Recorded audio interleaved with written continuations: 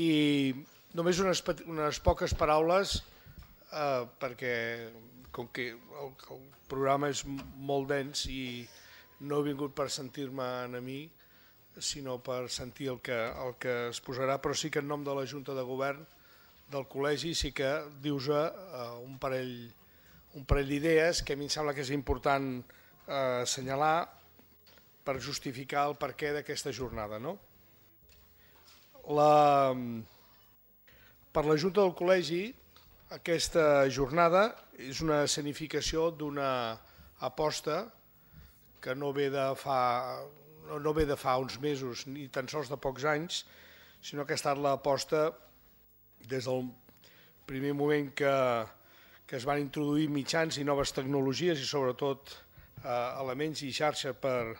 de comunicació, perquè és obvi que no podem anar en contra, no només no podem anar en contra, sinó que les hem d'aprofitar i les hem de liderar. Aquestes eines que permeten no només una comunicació o que poden permetre una millor comunicació amb els pacients, sinó amb els professionals, amb els mèdia, amb la societat en general. Nosaltres som una professió que ens sentim i som eh, i estem compromesos amb una societat a la qual hem de servir i l'hem de servir des del lideratge, des del rigor, des del professionalisme. I per tant vol dir des dels valors que configuren la nostra la nostra forma d'entendre la feina, el nostre exercici professional, no només en el marc legal que ens movem, sinó en els principis que la deontologia i la bioètica eh, han configurat la, la nostra professió i per extensió no només la professió mèdica sinó les professions sanitàries en general. I la introducció d'aquestes eines eh, generen també nous debats, nous interrogants de com ha de ser aquesta informació, de com s'ha de vehicular,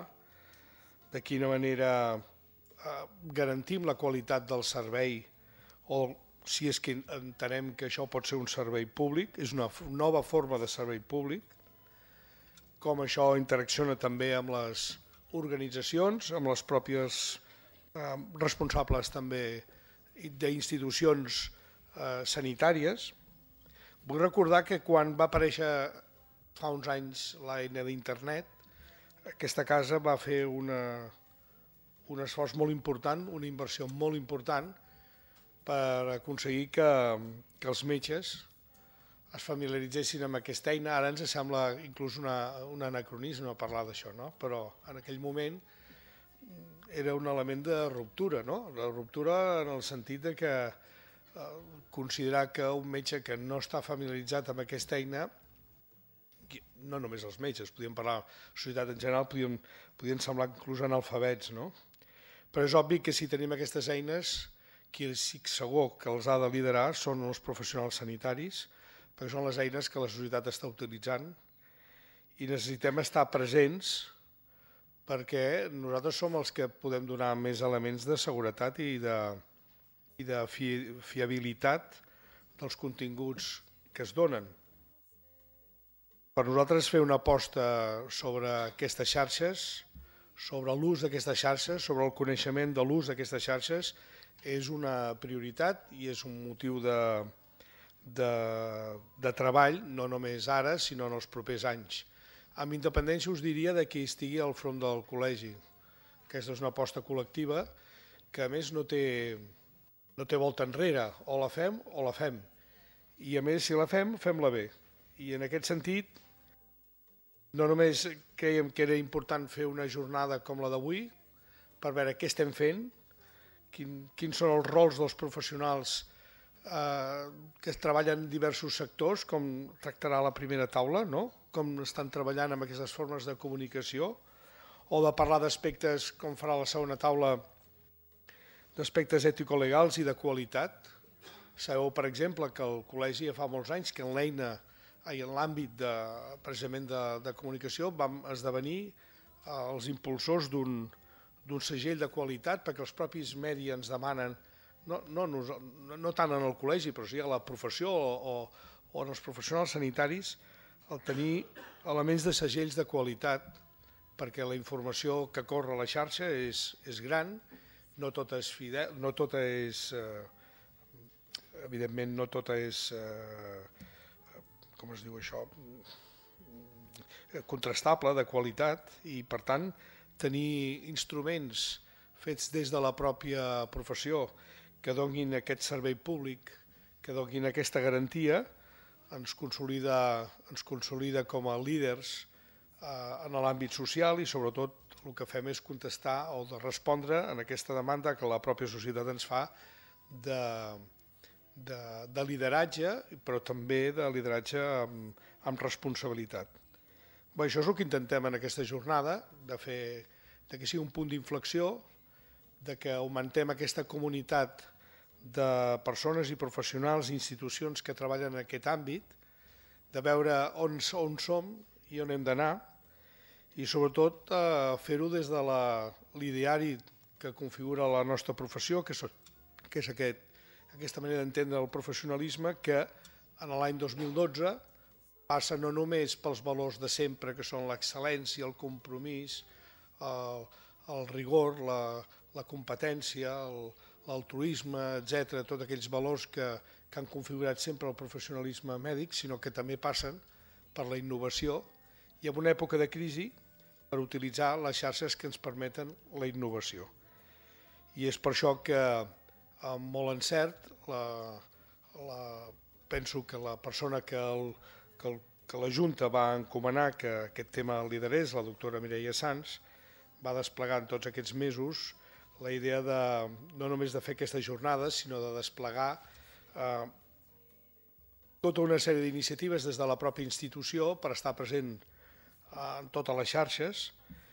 però no només estar present, sinó de crear aquesta comunitat de, de persones, d'institucions, de professionals, de ciutadans, que volen utilitzar aquesta xarxa, no només per, per un, un element lúdic o per un element de, podria ser d'interès individual, sinó també per treure un benefici, un benefici col·lectiu. No? Finalment, la, la jornada el, el que tindrem és la possibilitat precisament de, de conèixer aquestes 11 dels 29 projectes que s'han presentat, que alguns haig de dir que he tingut ocasió no els hi puc veure tots, però són d'una gran qualitat i em sembla que és molt interessant i important que els coneguem. Sapigueu tots que els 29 estaran penjats, no, no penjats, sinó penjats a, a la xarxa i per tant la possibilitat de que la web es puguin consultar. Sapigueu que aquesta jornada està sent retransmesa en directe per streaming. Uh, Mireia, em sembla que és així, ho dic bé, perquè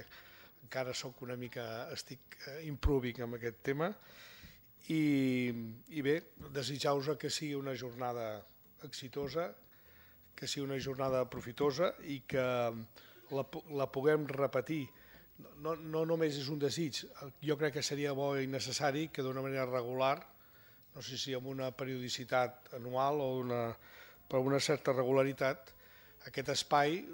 sigui un espai d'obligat retrobament per veure on som, per veure quins, què ens queda per fer, cap on hem d'anar, cap on estan les necessitats, fer també una, la possibilitat de fer l'autocrítica amb aquells temes que no estiguem fent bé o que puguem millorar